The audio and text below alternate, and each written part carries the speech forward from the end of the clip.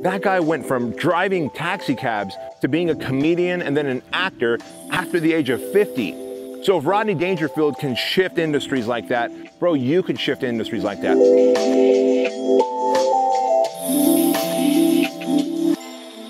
Man Ibrahim wants to know, is it too late for me to become a personal trainer? Man, I'm 37 years old, he says, and the entire industry is so young. Is it too late for me to become a personal trainer and be successful? Ibrahim, bro, are you nuts? Do you know who Rodney Dangerfield is? He was one of the all-time great comedians. The guy was a taxi cab driver, and if memory serves right, I think he was 47 or 48, 49 years old when he decided, you know what, I think I'm funny, I think I've got some jokes, I think I'm gonna go do an open mic night, right?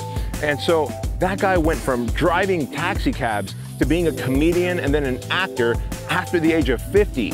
So if Rodney Dangerfield can shift industries like that, bro, you can shift industries like that. I know people who actually work out at Fit Body Bootcamp locations worldwide and they lost 30, 40, 50, 100 pounds and then decide to get certified and then decide to become personal trainers and then open up their own Fit Body Bootcamp locations. And these aren't people who are like 18, 19, 20 years old.